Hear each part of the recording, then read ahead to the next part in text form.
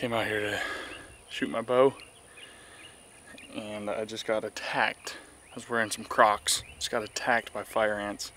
Oh, fire ants. This is real. So now I got my, my swag, low profile muck boots. So those fire ants right there can't get me, those little devils. But good news is we're about to go aoudad hunting.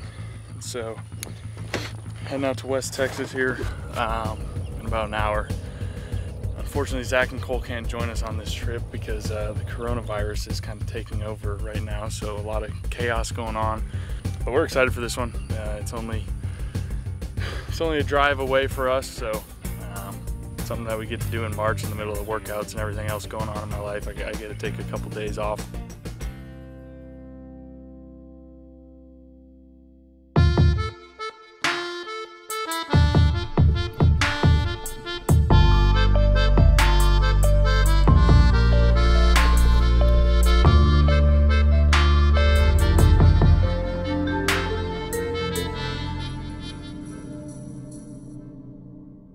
It's morning number one out here in southwest Texas. Um, learned a lot about the aoudad species last night. Thought they were goats, but they're actually sheep goat hybrids. So we're chasing a ram sheep actually. Um, found out it's gonna be a little difficult with a bow, but uh, we always got the rifle for the last day. So morning number one, uh, just getting out here driving around trying to spot something that we can uh, put a stalk on. Switching rides. Went from the pickup, drove around for a little while this morning. Not a lot moving yet. Uh, so now we're switching to the off-road vehicle to cover a little more rougher country.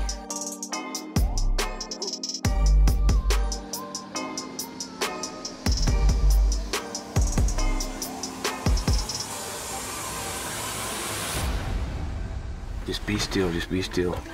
I'm gonna take you right by him. There's a huge ram. He's black and he's surrounded by a bunch of women. He's a stud. He is a freaking stud. Okay, I wanna drive forward. Can I- Don't don't look at him, or they're gonna think that you we can see him. Okay, he's moving.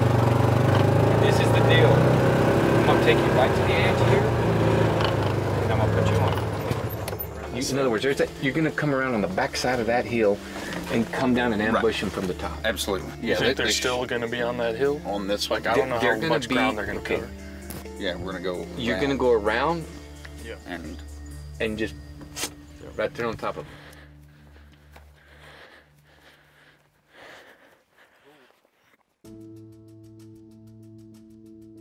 like it. So they went up right here, so we're we're going around. So there's they so this stays solid all the way across Be- the top. should be on that So side. we're gonna have to yeah. Almost the same looking terrain. We go down there.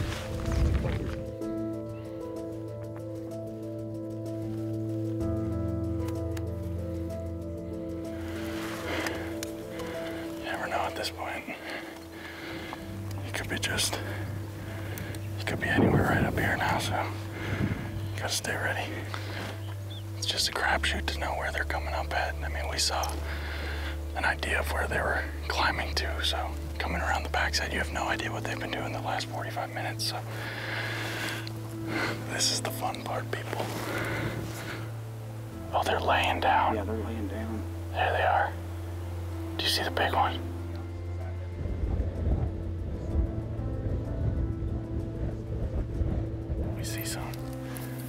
See the younger ones across the ridge, but we're pretty sure some of them leaked out closer to us. Um, and we think the larger one's in that group, so we're gonna sneak up a little ways and he might even be heading right at us. So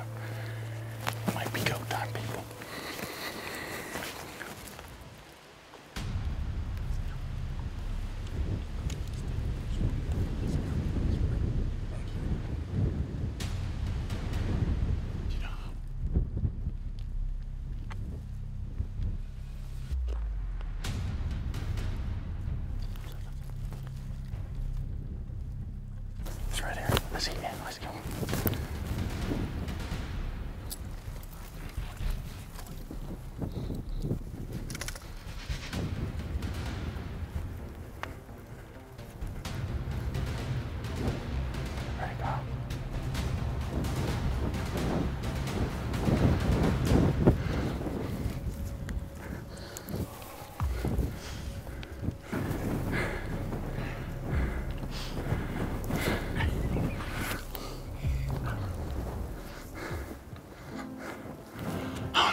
he just get over there in about seven seconds?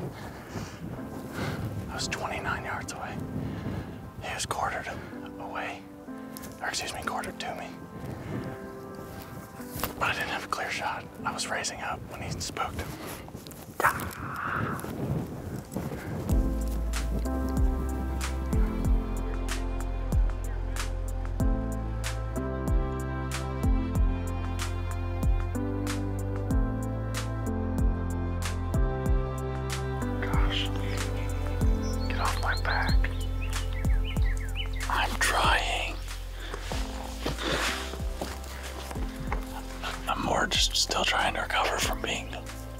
30 yards away from a monster.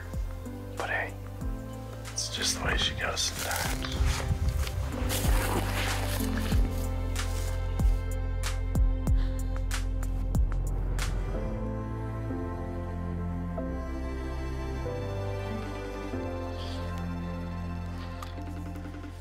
He's totally. See, look at that smile. He thought we shot one.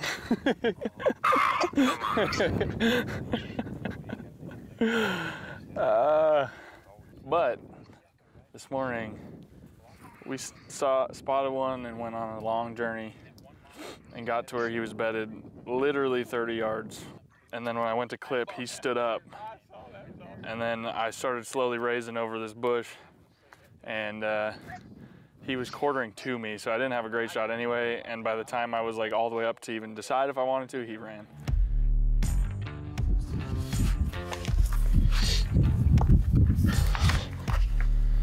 Morning number two out here.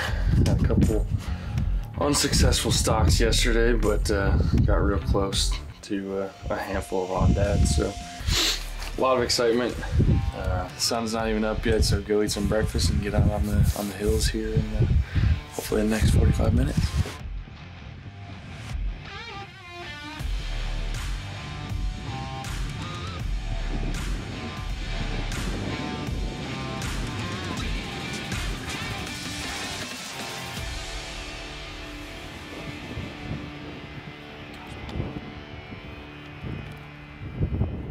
Shooter, guys. The middle one's a shooter, is it not? The Middle one, I think, is the. He looks like a banana horn. Yeah. Take a look, look, look, look now, look, look. There's two, the two top ones are. My buddy Kyle, the cameraman, again, Yeah. coming through, spotted a couple aoudad across this ravine here. They're working their way up, so trying to decipher if it's a, a good enough Oh, ram worth chasing. incredible. Yeah, the chaps are incredible, says uh, my buddy Daryl. They're they're not a. The They're chaps or decent. chaps? Both. Oh, okay, they're both. Depends on the mood I'm in. We probably got a thousand yard hike, but fortunately we're already on top. And I don't know why I'm whispering because we're a thousand yards away. But we hike across this top. They were moving up that direction and uh, kind of see what uh, see what's shaking. But I guess we got a closer look at one of those rams, and I guess he's a stud. So not that I really needed to hear that to you know add to my nerves or anything.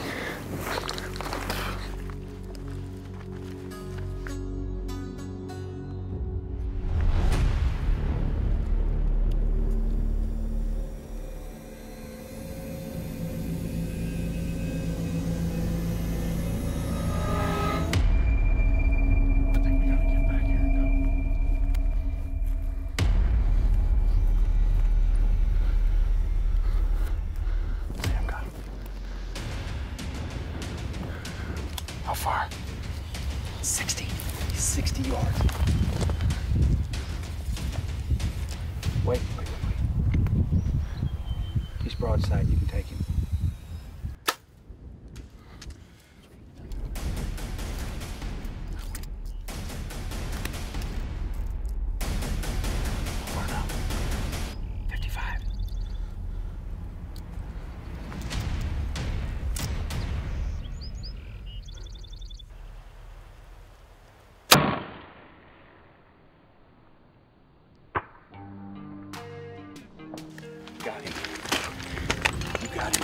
Get another arrow. Get another arrow.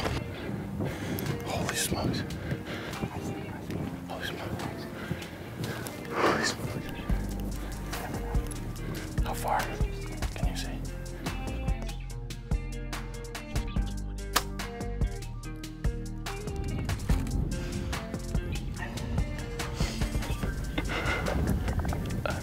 Made a terrible first shot. Thank God for second chances. Um, else as bad as me?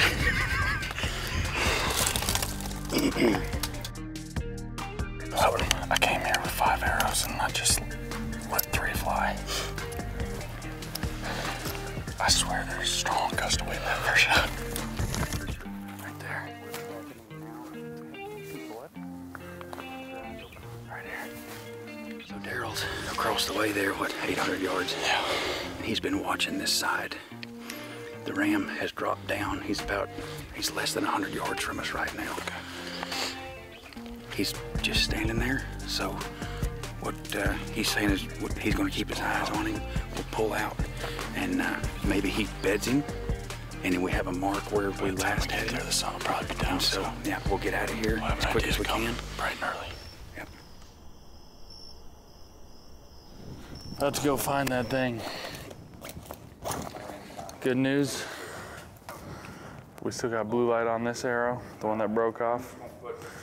So the red light that we could see, we'll get up there before the sun comes up and hopefully we'll see a little red light in the same exact spot across the canyon this morning. Sun will come up, we'll go find him, should be laying there dead. Party begins. Good news, we can still see the red nock light what we believe to be pretty dang close to the same spot. It's pitch black out here still, so hard to say for sure, but that's a good start. So we'll give it another 20 minutes or so until we can see some light and go uh, figure out what's going on over there. Got a good spot on him. Thought and was hoping that he was laying there dead, but he probably moved about 50 yards from where we saw him last night, and he's still kind of just moseying around. So he's a tough, he's a tough sucker. He's got two arrows in him. One of them the broadhead right in his chest cavity. So I think he's hurt. I don't think he's going to be moving real fast, but we got uh, one guy over here with the rifle just in case he bolts to the other ravine, and we're going to take a rifle with us, go try and put an arrow in him uh, with the bow first. But uh, we want to just make sure this guy ends up on the ground.